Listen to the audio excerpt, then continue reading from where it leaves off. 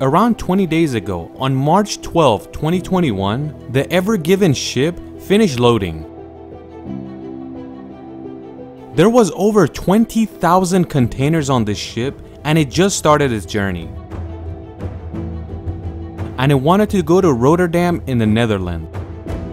The route was going through the Indian Ocean, past Yemen, go through the Red Sea and enter the Suez Canal. And from this canal, go to Mediterranean Sea. And after that, go to the Strait of Gibraltar and from the North Sea, get to the destination.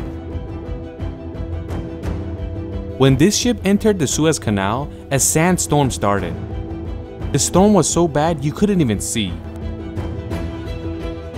The captain says the storm was so bad you couldn't see in front of you, and we really couldn't see where we were going we just all of a sudden noticed that the ship has stopped. On March 23rd at 7.40 am local time, Ever Given has crashed and stopped. In this situation, the most important vein in the world has stopped. 30 minutes later, two Egyptian tugboats come and help to free this thing, but Ever Given was stuck pretty bad, and it was not gonna be easy to let this thing go. In one hour, the whole world knew about this, that a giant ship that has a length of a 440 meters has blocked the entire Suez Canal.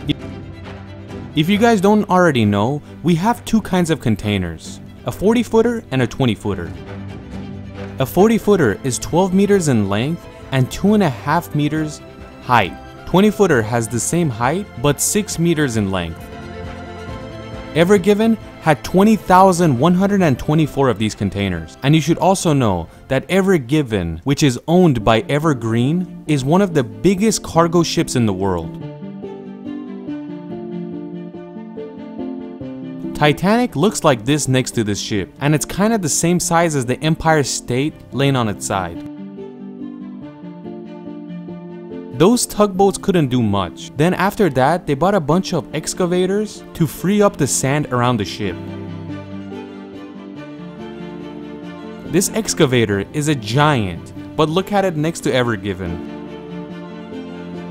One of the problems with the Suez Canal is that it's built like this, and if you go to the side too much, you could get stuck. Every excavator they could find nearby, they send it over here to get rid of all the sand around and underneath Ever Given. If you don't know where this canal is, it connects the Red Sea to the Mediterranean. And it's handmade. And the person that ordered to build this canal was Darius the Great, king of Persia. He ordered this when he conquered Egypt because he wanted to connect the Eastern world to the Western world. If this canal didn't exist, this ship would have to go all the way around Africa then come up again.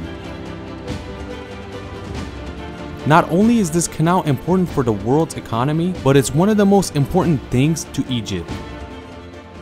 Cause Egypt has two ways of making money. First one is tourism, and the second one is the Suez Canal. This canal makes $14 million daily for Egypt, which adds up to $5 billion a year. You could pretty much say that on average, any ship that passes in this canal has to pay $300,000. One of the biggest problem with this canal is that in the southern section is a one-way. It's exactly like a one-lane, one-way road. Either a ship has to go this way or that way, and they can't pass next to each other. On both sides, there's always traffic.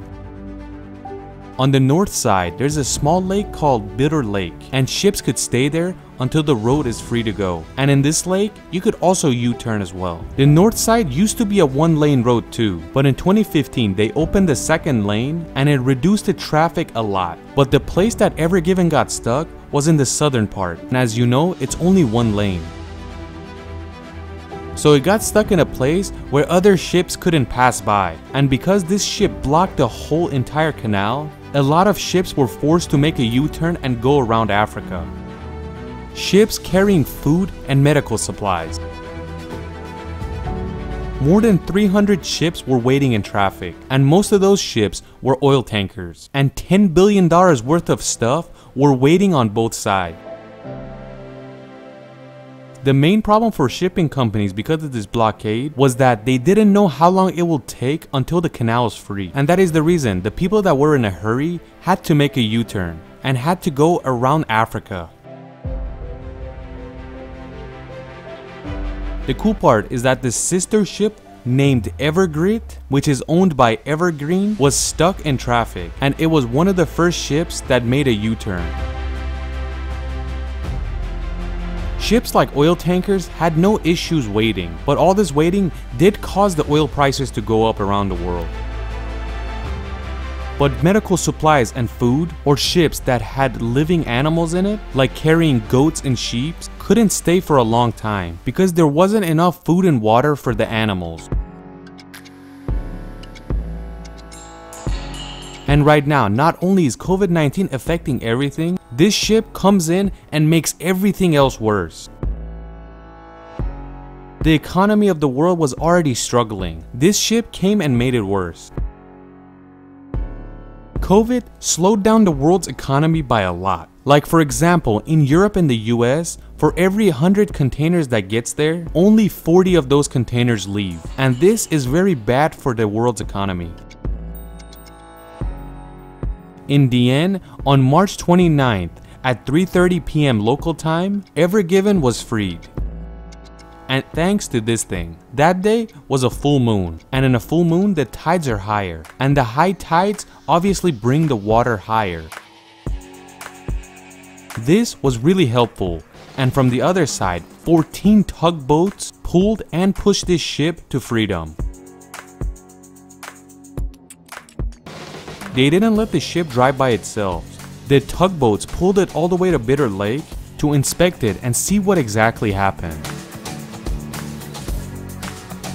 Not only did this traffic jam hurt the world's economy, but it messed up all the ports around the world. Because when the traffic jam stops, a lot of ships arrive to ports and overload the port. And this is a huge problem for the ports because they don't have the space for this many ships to show up at once. These issues start in the ports, then continue onto the railroads, and then on the roads. In conclusion, we can say one of the most important places in the world got stuck, had a heart attack, and after a shock, they brought it back. Until we can go back to the normal system, it's gonna take some time, and the damages that this thing caused are going to be noticeable for a while. Like a person living in the US or Europe has to pay way more for fuel now, and things coming from Asia are gonna be more expensive now. And it also hurts the Asian side as well, because both sides of the canal were closed. And we can say that it affects the prices for everything around the world.